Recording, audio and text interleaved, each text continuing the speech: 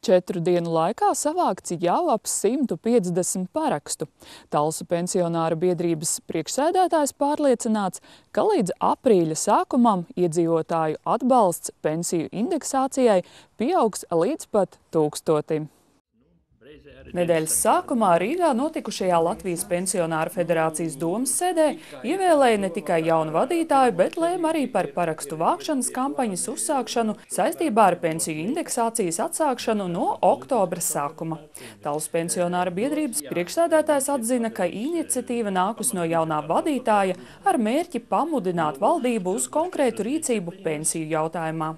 Ja jau mēs esam no tās saucamās krīzes saka, izgājuši, un, un ir iespēja palielināt algas mūsu teiksim, eh, lielajiem vīriem, kuriem viņas nav mazas. Ja? Tad es domāju, ka atstāt četrus gadus neindeksējot pensijas, tas būtu vienkārši nu, nepiedodami. Ja? Komunālo maksājumu, pārtikas un medikamentu cenu pieaugums. Dzīves sadārdzinājums jūtams ik uz soļa. Nebija agrāk tāda nodokļa e, kā e, nekustamā īpašuma nodoklis, kuru mēs tagad par dzīvokļiem un pa mājām maksājam pēdējos divus gadus. Varu sakot, tas viss ir nācis klāt, bet e, pie pensijas nav nācis ne santīms. Tad šīs ceturtais gads, kad eh, netiek indeksētas pensijas. Pensionāri aicina jebkuru iedzīvotāju no 18 gadu vecuma līdz 1. aprīlim parakstīties par prasību valdībai atsākt pensiju indeksēšanu.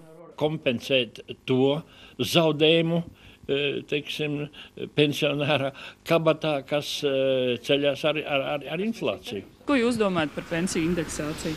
Protams, jo cenu uzcenojums būs, un, un ja ieviesīs eiro, tad, tad viss, kā saka veikalā, to pašu maizīti pensionēri vairs neatļausies to pašu nopirkt. Prasiet var, bet es domāju, ka tur nekas nesanāks. Tas sociālais budžets jau ir plosīts no visām pusēm. Ja sagaidīs būs, būs pensija, nebūs, nebūs, nu tā redzēs. Drīkst vaicāt, cik vēl jāgaida? Nu, jāsaka, padomu pensionāru skrienu pakaļ. Gadi jau vēl pieci.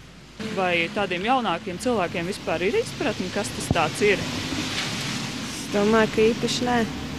Bet, nu, ja vaicātu, tad iedziļinātos, kas tas vispār ir un vai parakstīties. Vai Jā, protams. Tagad ir iespēja arī līdz 1. aprīlim parakstīties tepat mūsu dienas centrā. Šeit ir iespēja, jā. jā, iešu parakstīšos. Pensionāru biedrības parakstu vākšanas kampaņas rīko visā Latvijā. Plānots, ka pēc tam savāktie paraksti tiks iesniegti valdībai.